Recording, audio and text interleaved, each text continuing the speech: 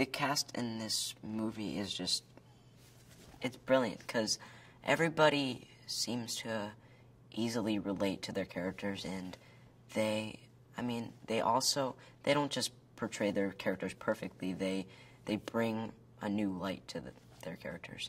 And i mean everyone is doing such an amazing job and i do feel extremely lucky that i get to work with them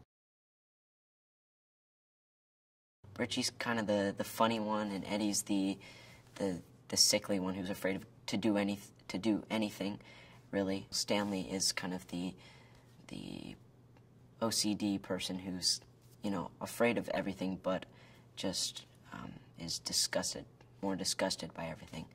Um, we have Mike, who's the oldest and kind of the strongest, um, and I would say Bev is def- uh, one of the strongest as well.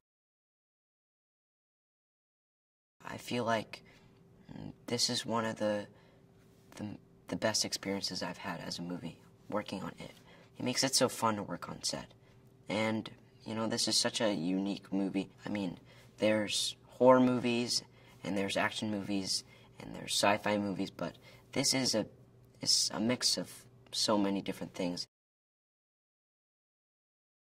I think we're all like brothers now and sister. Um, because well, um, what I mentioned before, the first weeks with with uh, with Benjamin, he we were just doing these exercises to get comfortable with each other, like looking into the uh, each other's eyes for three minutes, which was awkward at first, but it was like a, a really quick way to get to know each other, and it was so weird because the like um, I think the second day we, of knowing each other, we were so close. We knew so much about each other, and we were best friends already. But, but now after four months, I, I mean, I, I've never been so close to anybody else, kid, a kid my age.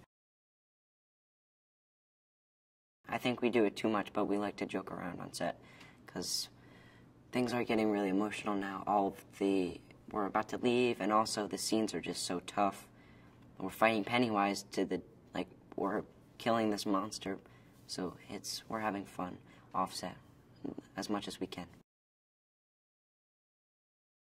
It's so scary um, because he kind of has this this young baby face, kind of, and but he's so tall and his voice is, is so squeaky and, and it's cracking so much, and he does he does such a good job with his with his body.